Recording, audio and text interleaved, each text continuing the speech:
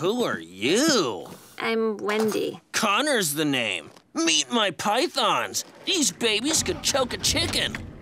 You need to talk to him. I know, I know.